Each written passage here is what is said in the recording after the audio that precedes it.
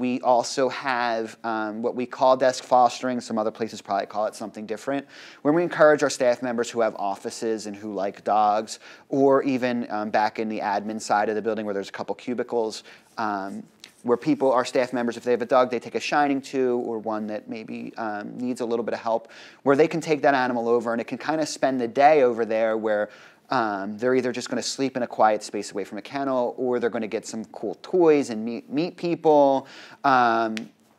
or again, if they're a little nervous, it gets them out of what might be scaring them.